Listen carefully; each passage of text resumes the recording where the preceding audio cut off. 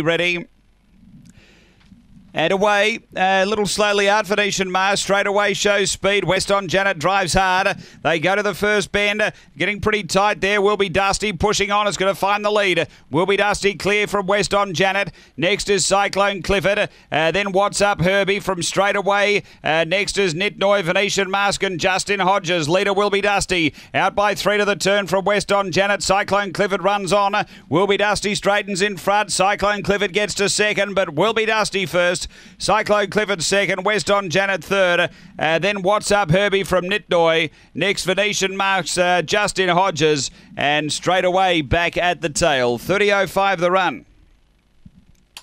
Race 7.